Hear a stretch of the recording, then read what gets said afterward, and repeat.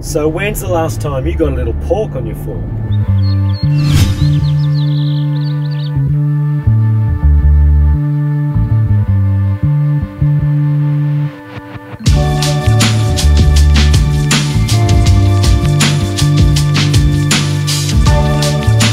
That's right, so today we're doing pork fillet with mushroom and cream sauce. You'll love this one.